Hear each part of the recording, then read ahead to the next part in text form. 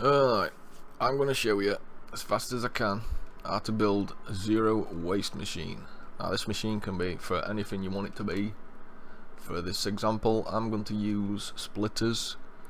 Uh, so what I'm going to do with this machine is create splitters without using more raw resources than I need to use to make the amount of splitters that I need. So I won't have any plates lying around, I won't have any extra components lying around anywhere and I won't have used more ore than I needed, like I said. So I'm just going to build this thing from start to finish and then switch it on and it's going to just it's just going to work. And I'm going to explain it as we are going so. This can be this requester chest imagine could be you know lines of ore. So this is just where I'm going to get my ore from. So that's your ore input there. And there is ignore that for now the ore output. We're going to put them on separate size so we're going to put iron on the left we're going to put copper on the right. We're going to have our copper input into our machine right? So this is the input into the machine. Uh, obvious obviously obvious what you need to do with the ore when you get that and that is smelt it so I'm going to bring that in front of these five furnaces. Take it around to another five furnaces like so. Take it up to there. Get another underground belt. Underground is whatever you want to call it. Just loop that. This whole belt's now a loop and this is the feed into it. And it'll just loop around. So that these furnaces have got a nice supply of ore. When these furnaces are busy it'll let ore past and these will be able to carry on picking up stuff if they've got nothing left to do. So they can pick up ore with stupid belts pick up ore with inserters and do this. We can export plates with long-armed inserters. Like so. Onto the middle belt. Start output okay so we're going to get copper and iron ore onto this belt which is going to go around in a loop. They're going to go into these so we're going to get copper and iron plate onto this belt. So we're going to sort it there with filter inserters this side's going to be copper, this side's going to be iron, and they're going to go like this. Okay, now depending on the orientation of this build, you could be building it horizontally, you could be building it uh, to the upways could build it left, right, up, down. It depends to which way you want to have these belts configured. Because I'm building downwards, I need this belt to go up because this insert is going to put stuff on the top of that belt. Okay, the bottom belt will be empty. This belt will put it on, and this belt will be full. Then same with this, but this belt, this side, puts it on the bottom. So I'll explain what you'll see. Doesn't matter right now. Okay. So we've got our iron and our copper. What we're going to need for this build. Looking here, we see we need electronic circuits, iron plates, and transport belts because this is what we're going to build. The end product will be the splitter. For the electronic circuits, which is very obvious to me, but to some of you might not be, we need copper cables. For copper cables, we need the copper plates. Okay, so we've got copper plates there. Electronic circuits also needs iron plates. And etc. So we've justified why we need both already. We need iron for other things along the line, but uh, we only need copper this far down the line. So we need an inserter. Now first we need a belt there and an inserter. This marks how far away I need to put my machines from there because I need to be able to take stuff out. So one there, gap, one there. To bridge across that gap one there, one there, one there. Take this belt. That's just served as my gap. Nothing more, nothing less. These will be the copper cable machines on the right, and the ones on the left will be the electronic circuit machines.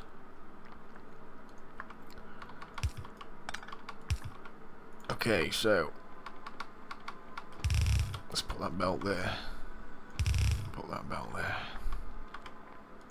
So copper cable machines need copper comes onto this belt down there into the machine with a stack inserter like so. I'm going to loop this belt as well just to make sure stuff keeps going around this belt. Make sure that these inserters have got a nice supply because it can stop at the bottom. If the but if the belt's got to end, you guys know that it'll stop and it'll just carry on up. So this inserter might have a lot, and these will. It's it's fast. It deals with the stuff faster. Just put it that way. It gets it keeps going around, so you can deal with the plates faster because that's not got. It's not waiting to deal with five. All three of these can deal with a five because it'll carry on going around. Okay, I might not have explained that amazingly, but there you go. Okay, so put an insert there, there, and there, one there, Oop. one there, one there, because this needs iron plates, which comes down this side. It's going to go in there like that. Okay, now then. We've made the... Uh, just need to put belt there actually. The underground belt, because we need to take the green circuit out of the little system we made there and they can carry on where we need them. Right, so we need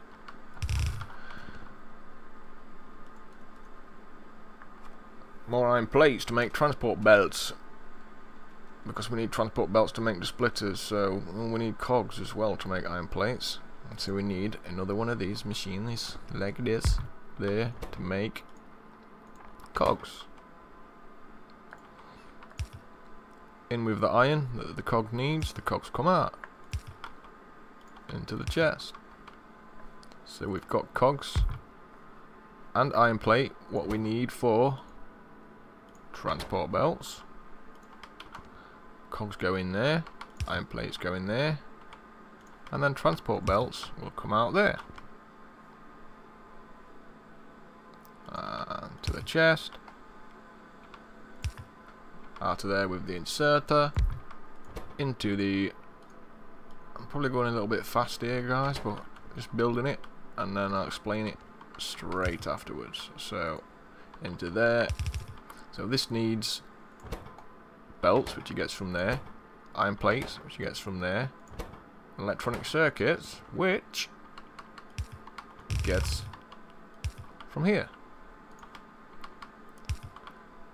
Green circuits plus transport belts plus iron uh, plates equals a splitter into this chest.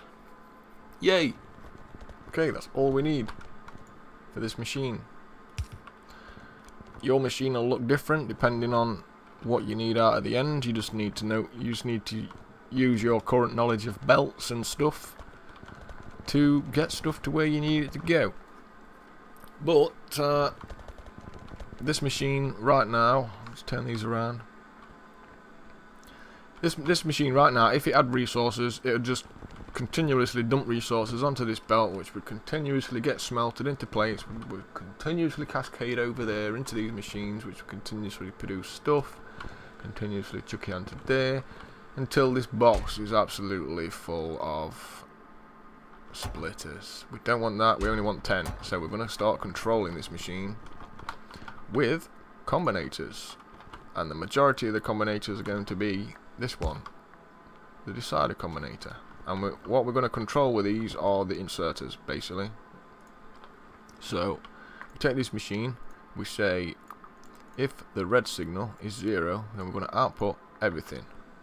I take a wire, I use a red wire, and uh, output input into itself it creates a little loop and then we're going to take these two inserters into there and we're going to count the raw materials what this gets by reading the pulses that these inserters are going to create. Okay, this is where the math starts as well, guys. We need to do a little bit of maths for this machine. You need to know exactly, at this point where we are now, raw resources, we need to know exactly how many re raw resources we need to make the required amount of splitters at the end. So we're going to say 10 splitters. To make 10 splitters, we're going to need raw resources, 160 iron ores and 75 copper ores with the looks of what it says there. So what we told this inserter to do is if the iron ore is less than 160 and the copper ore is less than 75 then they can work. Well there's one more thing we need to tell these inserters and that's how much stuff to pick up at each time. I did set that to 160 but uh, there we go. Just make sure. 160 right. We need to tell these inserters how much they can pick up each time. So because these this number here is in denominations of 160 we can set this to 10 so every time that this inserter picks stuff up it'll be 10 so it'll be 10 20 30 40 etc all the way up to 160 and only be able to put that amount on the belt. So we'll get a total of 160 and not some odd number because it won't be picking 12 up every time. And 160 cannot be it can't be a result of multiplying 12 so it will break it will get extra stuff and we'll we'll have extra stuff on our belts and that's not the aim of the machine so. We're going to say override to 10 so it only puts 10 on at a time we never get an odd number it's never extra this one's in the denominations of 75 so we override this stacks inserted to 5 so that that can only put 5 on at a time. They will then tell this what they have put on to the belt. I'll, I'll only explain this one time because we're, we're going to use this a lot of times in the place so I'm going to explain it to you what it does. So while ever this is not receiving a red signal it'll output everything that it gets input. But it'll also remember whatever's been input to it because its input goes to its output so it's a loop to itself. So every time these count one this will count one and also keep that count. So that'll count one I'll say one that'll count another one that'll say two that'll count another one that'll say three and so on. But it'll do it simultaneously for both of these inserters so we can count copper ore and iron ore at the same time with that. Okay? And it'll keep that in its memory forever until we send a red signal to it which will reset the count and then these will start working again until that number reaches whatever these numbers say there again okay? So we've got our raw resources. What we need they'll turn into the plates that we need and they'll come down. Now we need to deal with the plates and where they go and uh, what we make with them because we could potentially make too many electronic circuits here because the plates goes there first so we need to deal with it. So what we're going to do is we're going to take another two of those decider combinators what we same one that we just used at the top put one there one there. You can just come up there shift right click and then shift left click and I'll just copy it like that. And wire the back to the front or the front to the back. It doesn't matter which way you say it it's the same thing and then I'm going to connect. Basically what I'm doing here right I'm going to explain to it explain to you is controlling how much stuff gets put into this machine so that it doesn't get more than it needs to make exactly how much we need to make. So this is where we get some more maths. For the splitters we need electronic circuits 5 off so 5 electronic circuits per splitter we want 10 so 5 times 10 is 50. So we need 50 electronic circuits. So we've got two machines, so we need to divide 50 by 2, which is 25. So this only needs to make 25 because this one's going to make 25 as well. So we only need to feed it the amount of materials that we need to make 25 on the out on the output. So we look at this. One electronic circuit is one iron plate and three copper cables. Okay, so it needs one iron plate and three copper cables to make one electronic circuit.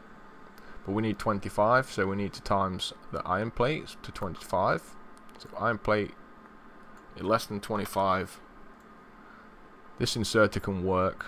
We overwrite this to 1 it's important. We read it we pulse it. We copy that to that. These are just these are separate circuits but they're the same. We're building them exactly the same for two different machines right so they're both going to get 25 iron plates now but we also need them to get 75 iron uh, not iron copper copper wires. So while ever this machine's not had 75 copper wires yet this is going to work. We override it to 1 we read it and we pulse it and we just copy all them because this machine needs 75 this machine needs 75 to make a total of 25 each to make a total of 50 right? Cool. I hope that helps. I hope that helps. The, the explanation helps to what this is doing. So we're also going to control these inserters with the same thing. We're going to connect these oh these. Don't know which bit I messed up. There we go going to connect these decider combinators to these inserters. Three separate little things. Same job as everything else we've used so far. It just counts and remembers.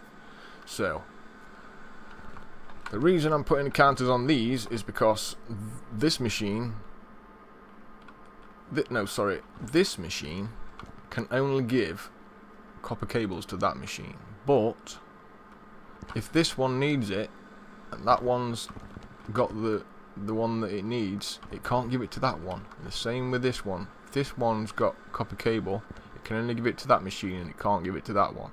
But if that one still needs one and this one's got the, the copper that's required to make it it'll give it to this one instead. And this one will end up with a copper and that will end up with one with the iron and it can't build it because it's in separate machines. So we have to control this by saying that uh, we have to we have to split this 75 plates equally so that we get the right amount we need. Because see this machine in the middle? This machine can give stuff to both. So we want this to have access to more copper than the other two. So if we say to this, we need to split the 75 up into three. So if we say to the bottom one, to only work if there's not been 20 in this machine yet, then uh, it'll keep working. As soon as it's 20, it'll stop. Same with this one. Copy that one to that again. We're doing a read, we're doing a pulse. Read pulse, read pulse, okay? Same with that. This one, however, is going to be set to 35 because this makes up to 70 because you've got 20, 40 plus 35 is 70 so we deal with the 75 copper plates which turns into should be 150 You actually get 2 per copper plate. So 75 times 2 150 again divided by 2 75 into these. It's all dealt with. We'll get our cables and we don't need any more materials. And then the rest of the materials can carry on so what we're going to do now is we're going to take the inputs from both these machines with a green wire connect them to the belt directly underneath the belt that's in front of this inserter and we're going to tell this belt that it can only work if equal or above the 50 iron plates that we need in there. So as soon as we've used the 50 iron plates we need there, the rest can continue. But then this machine needs to make 20 cogs, so it's going to need 40 iron plates. Which we'll have. They're on this belt. Don't worry guys, we made all because we've got the raw resources. We did the maths. We'll have their weight in there to come down. But this machine just got to wait until we've done all done with all the stuff up there. So we take another one of these, we put it there, get that, like that, and make sure all these are set to 1. Just got to stress that this, if these aren't set to 1, then the, the whole goal of this machine will be, it'll be lost, we'll, we won't have it. I didn't need to connect it to that one. There we go. Yeah, the, if it's not set to one, the old the whole goal of this machine will be lost, and we'll just get extra stuff. Or we won't get extra stuff because we've connected all this stuff up to it. We won't get extra stuff. It just won't work properly at all. So again, this one override to one, read and pulse. It needs 40 iron plates. So while ever there hasn't been 40 iron plates put into the cog machine, we won't get any uh, this will work. This insert will work and carry on putting in. I'm also going to read this one. I'm not going to control this one. I'm just going to read it so we can tell how many cogs has been put into that machine, into that box. Once we've had our 40, then we can let the stuff go. We can let the stuff carry on. So again, like there, but that's 50, uh, 50. We need this one to say 40 iron plates is equal to or above 40 and they can carry on past this point. Right so when we've got cogs that we need for this machine we need iron plates as well. So we need to count because also we're only count we're only counting up to the point that if there's another machine after it we're counting stuff. So the other machine after still got stuff left. So we're going to count here how many iron plates we're using what else I going to count? How many belts I've put into that box. I'm going to override this to 1 again. And this, we're going to control this again. This needs 20 iron plates. So we're going to say to this one, you can work while ever this machine hasn't had 20 iron plates yet that will continue to put it in there until there's 20 saved up into this as soon as there is. Equal to or above 20 iron plates everything else can continue down the uh, the chain. Okay. All the all the inserters have got their control set. This machine will now only generate 10 splitters at a time the only problem with the way the machine's set up at the moment is it will only do that one time ever and all these all these inserters will be disabled because they've done their job because all these all the counters will still have their totals inside. And it'll say we made 10 splitters though. We don't need to make 10 more. We made them. So you need to say but there's none left. So make 10 more and to do that, we need to create a pulse signal. To pulse a red signal into these to reset them. So they can start counting again. So we take a decider combinator there. And wire the input to that chest. And we say if the splitters are zero then we're going to output the uh, reset signal which is the red. Like that but that signal's constant and we wanted a pulse signal so we're going to make it a pulse signal by putting in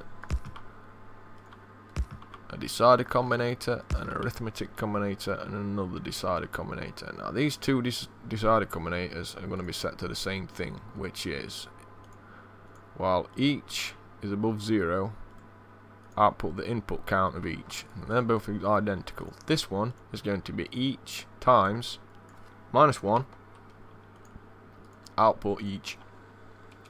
And what we're doing with this is we're going to generate a pulse. So we take that constant red signal and put it into there, like that.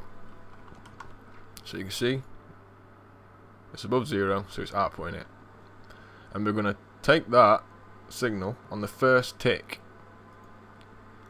on the uh, on the second tick, sorry, because on the first tick it gets it gets it in there, does its com does its calculation on the second tick it puts it out so I'm going to put it out into this one which this one turns in negative on the second on the second tick so the first tick it comes out positive On the second tick, it comes out this one, negative. And we take both of these two inputs and put it into the output of this machine. Okay. Now then, to make this machine, to prove this, to prove this little uh, pulsar works, I'm just gonna take my belts over here. So I haven't got any and they're not in the robot system so they can't see them. Oh, I guess I requested two. That wasn't cool. Okay, now I'm not requesting them. I've got 11 in there. Right, so now I've got 11 in there for a reason. Reason being, if I click that, I'm going to get one straight away. And I need there to be 10 in there. But I also need to have my mouse over there to show you that it does a pulse when I get the when the when it's below 10. So if I now type in 11 or if I just type in 2 and I've got more than enough to bring the number of the box down to, to below 10 I'm going to get a red flash. Look under where it's where it says my name last user cert fuxor on the right there. Look under that that's where you're going to see the red signal. You're going to see it flash right? So watch.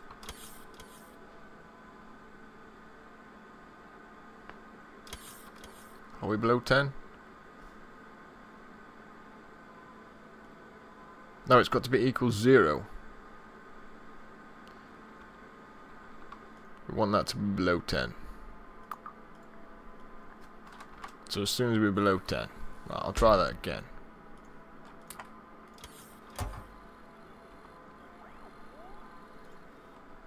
Stop requesting.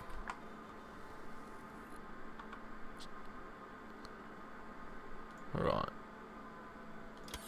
just so I can move stuff out of the way and get stuff ready and to mouse over that so you can see the pulse. Right, if I just request 11, I'll get them all and you'll see that pulse. Or if I request 2 like I tried to do last time, then I should get a pulse. There you go, there's the pulse. So when it's less than 10, this machine will say, boop boop, let's make some more. We'll get that pulse out of there. It's not going to say let's make some more until we wire it up. So we take this green wire, out of this one. It's not going to reach there, so I'm going to need this. Take that. And we need to put it into there. Everything now that needs a red, red signal to reset, we're going to put this, connect this to.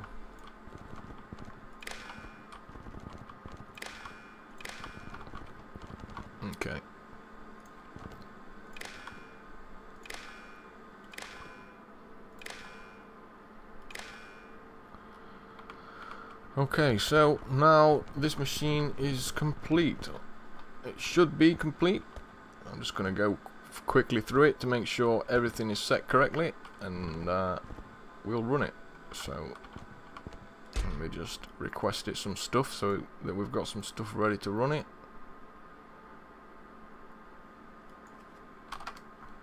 I'll request that and I'll request this. So that's ready to put in as soon as I turn the inserters around. Right, so raw materials 160, 75, 20, 35. Oh, there's a there's an error I didn't pick up on. If I don't read, it's gonna break. So there we go. It's good to I'm checking. 35, 20, 20, they're all reading. They're overwritten. They're reading. 75. 75 overwritten. Reading. All good, all good. Overwrite. Pulse 25. 25. Pulse read. Overwrite. Nice. 40. Pulse. Overwrite. 20. Pulse. Overwrite.